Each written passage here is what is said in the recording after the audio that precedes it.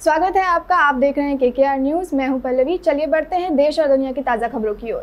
पिछावर नगर में मध्य प्रदेश के राजस्व मंत्री और क्षेत्र के विधायक कर्ण सिंह वर्मा भाजपा के कैलाश सुराना के मार्गदर्शन में नगर के वार्ड क्रमांक 12 में सीसी सड़क को सौगात दी।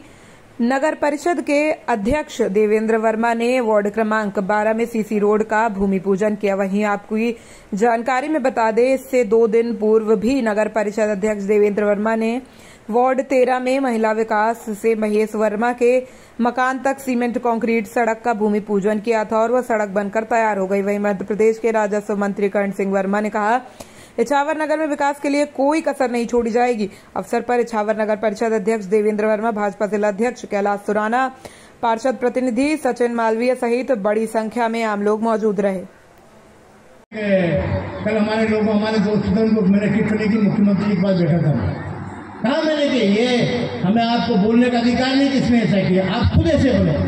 हमारी पहचान होना चाहिए और मैं आपका सेवा के नाते पिछावर को ऐसा सुंदर बनाऊँगा कि लोग पिछावर में देखने आएँगे, कैसा रोड कैसा पानी नर्मदा जी का पानी पीने के लिए, हर मोहल्ले में टूटी से पानी पढ़ने के लिए छात्र छात्राओं के स्कूल, इलाज के लिए अच्छे अस्पताल।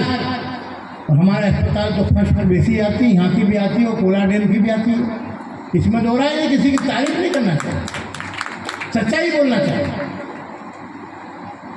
हमारे ऐसे ही देश और दुनिया की खबरों के लिए बने रहिए केकेआर न्यूज़ के साथ।